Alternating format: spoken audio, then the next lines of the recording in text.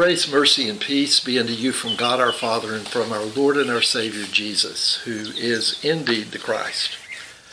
So today is the festival of the Holy Trinity, and we are back in Matthew's Gospel for our Gospel reading for the first time in a number of weeks. Uh, and our text today is often referred to as the Great Commission. In a sense, this Great Commission is like a mission statement that Jesus shares with his disciples uh, immediately before his return to the Father in heaven. Uh, and it is an imperative.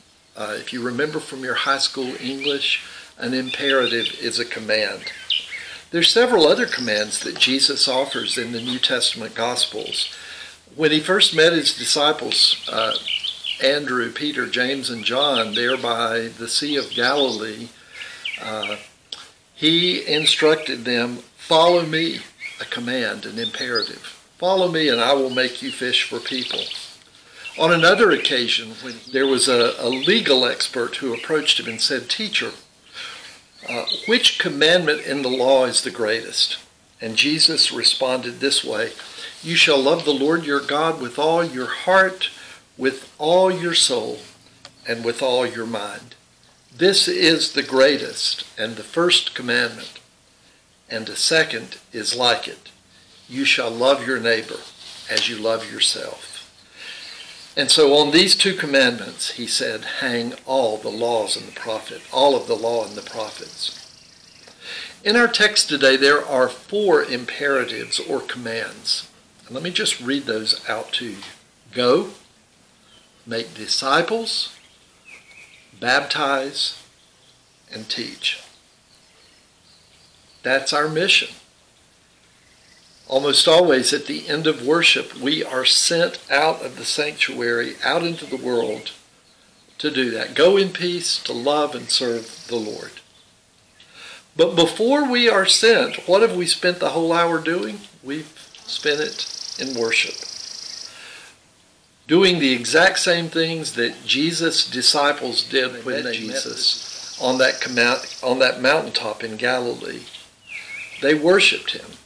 At least some of them did, for the text also has a troubling word. It says that some of them doubted.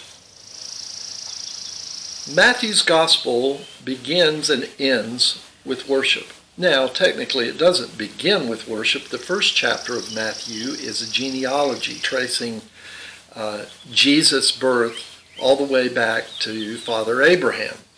But when you get into the story of, of Jesus' birth, it's the story of the Magi who came to visit Jesus. And what did they come to do? The text says that they came to pay homage to him, they came to worship him. And so here at the end of Matthew's gospel, the disciples gather with him on the mountain in Galilee for the purpose of worship. But once again, that troubling word shows up, but some doubted. They doubted. Why did they doubt? That really does seem troubling and bothersome, but it, shouldn't. The, the disciples, after all, were very human, and they had shown that humanity many other times when they did not grasp what Jesus was trying to say to them. On one occasion, uh, Jesus actually referred to Peter, Get behind me, Satan. You may have already heard me mention uh, that it's very easy to be a Christian, to be a follower of Jesus inside the church building part of me actually wonders if that's why some of us want to return to worship inside the church building. Because it's easy. Or because it's about us because we miss our friends. Well sure we miss our friends and, and family. But worship isn't about us. I've heard people say well i didn't like worship today. Guess what? That's not what worship is about. Sometimes we should not like worship. Did did everyone like what Jesus had to say to them? Uh, of course not. We don't have to like worship. Worship is something that we do for God, not for us. I think it's easy to have faith inside of a church building. But certainly, COVID 19 has forced us, has forced the church out of our building. And our text today seems to support that notion that, in fact, Jesus actually wants us to get out of the building. Jesus told the disciples to go, to make disciples, to baptize, and to teach. He told the disciples to follow him. Very rarely did Jesus ever take his disciples into church buildings. Occasionally, he went into a synagogue. Occasionally, he went into the temple, but more often than not, whenever Jesus went into church buildings, he stirred up trouble. And so, where did Jesus go? He went to where the marginalized people were. He went to the poor. He went to the blind and lame. He went to those people who were possessed by demons. He met with lepers. And yes, he, he even met with Samaritans. Samaritans, those whom his own people did not like. These last few months, we've lived in some interesting times, to say the least. Furthermore, these last two weeks have been interesting times. Just think about what's happened over the last couple of weeks in our country. We've continued to live in the midst of the throes of a pandemic. Saturday, a week ago, we watched Americans go back up in space in an American built spacecraft for the first time with the notion that within two to four years we'll actually return to the moon. Amazing. And of course, we've also watched in these last two weeks as our nation has been split in two because of racial hatred and protest and violence and looting. It's kind of amazing how this text today deals with all three of those things. It's sort of its own Holy Trinity, so to speak. Now, the first one is the easiest returning to space. What was it? Last week we celebrated the ascension of Jesus when Jesus on the mountaintop appeared to blast off to go back to heaven, to go back to his Father. And so Matthew's gospel text today is set right there just before his ascension, just before his return. I believe Jesus' blast off into space was much more impressive, impressive than that of the Dragon spacecraft last week in Florida. The second component of this trinity of sorts is the pandemic. And I've already sort of dealt with that. That the church is not a building and that Jesus was at his best when he was outside of church buildings. And the third, and the, perhaps the most difficult, one that's the most upsetting, is the one of the racial hate, hatred and anger and protest and looting.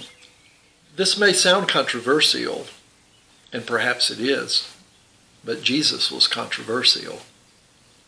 Things he said eventually got him crucified. Jesus himself protested.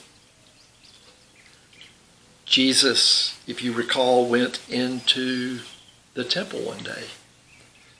He angered the religious authorities when even though he didn't necessarily loot, but he did overturn the money changers' tables and stopped the business as usual of what was going on inside the temple that day. And probably those religious authorities looked upon Jesus with the same disdain that some have looked upon the protesters in the last week and a half. Furthermore, and even more disturbing perhaps to us, is the fact that Jesus loved everybody.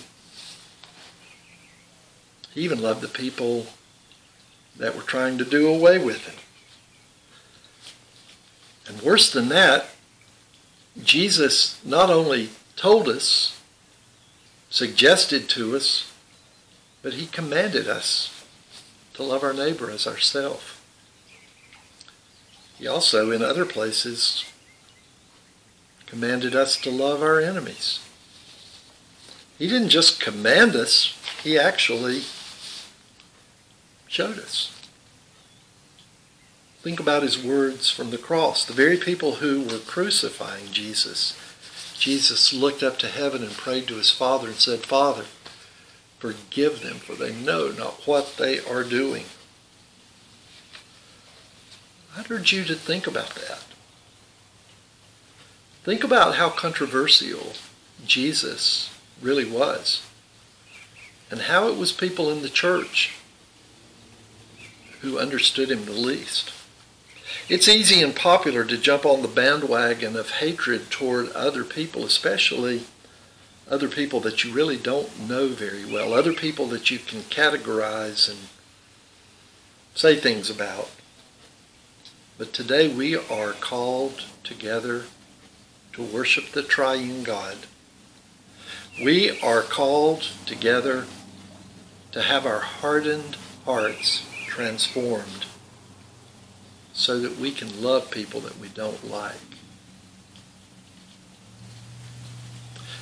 It's easy to love people that you like, but Jesus calls us to love people that we don't like, to love people for whom we don't understand, the people that we might disagree with.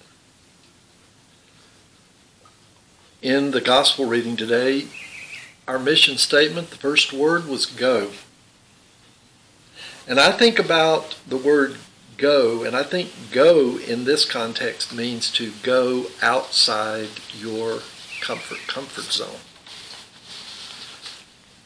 Perhaps it's a good time to go outside your comfort zone and have a conversation with someone that you don't know well someone who may be a different skin color than yours.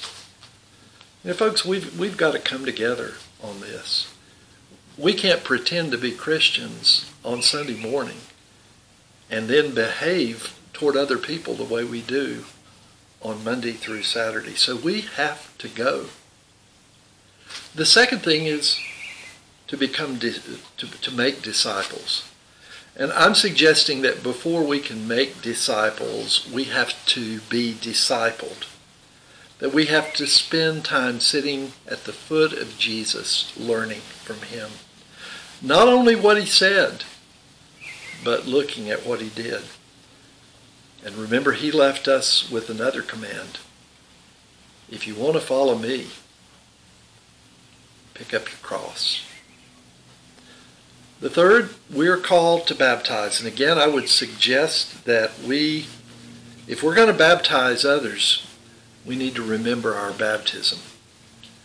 And if we remember our baptism, we'll remember that Jesus came and accepted and loved us before we were ever capable of accepting or loving him. And finally, we are to teach. And the best way to teach is not with words, but by our own actions, by the way we show love toward other people. So today we are in the midst of worship. But some doubted.